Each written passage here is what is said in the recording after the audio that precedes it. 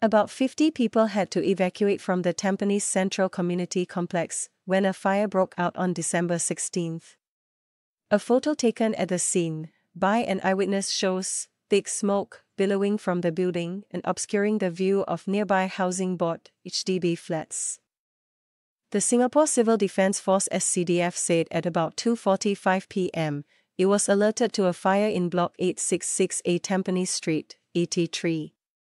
The blaze involved contents of a kitchen exhaust ducting in the food court on the second level.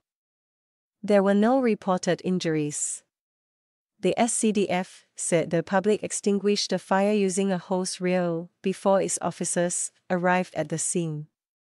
A resident identified as Mr. Ho, who lives in an HDB block opposite the complex, told Shin Min Daily News that he was working in his room when he smelled smoke. The 35 year old looked out of the window and saw thick smoke emanating from the roof of the complex.